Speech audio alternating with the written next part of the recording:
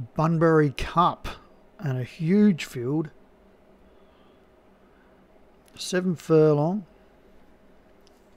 Practices up the top for James Shea. We've got St Julian's Bay, Melange Prophet, Shira Yore, Rimfire, Lipu Plan, Swift Air, Locked Up, Froglet, Favourable Verdict, Xena, Bang the Drum, Banging Drums, Derry Claire Dwab, Toronto, Not Jovial Jura, Trusting Solitaire, Highland Valley, Sir Frankel, Poppet's Boy, Arrowhead is the favourite for Daniel French, James E. Cornett, African Grey, Bavarian Nimbus, All I Want to Do, Pure Purgy, Strong Woman, Colorado Gold, and number 29 out of the opposite barrier from barrier 1, Irish Stone for Ryan Costello.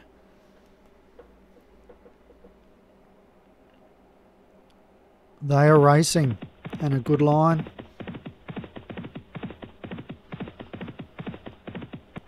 Big field, the spread right across the track from rail to rail.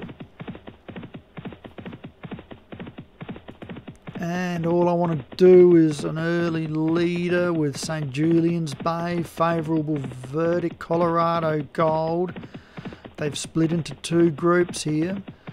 And then oh, it's just huge. It's like, where do I call? So we'll just sit with the leaders here. It's all I want to do. Running with St. Julian's Bay. They've got Colorado Gold, who's on the near fence to my call.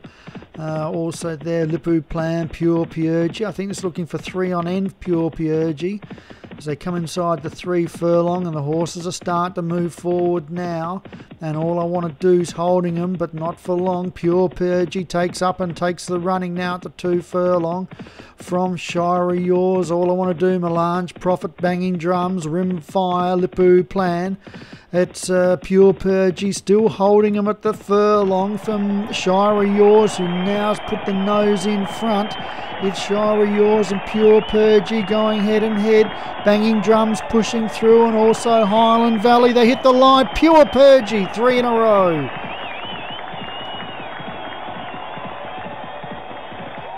Sorry if your horse didn't get called. I think you can understand. And that's a big win.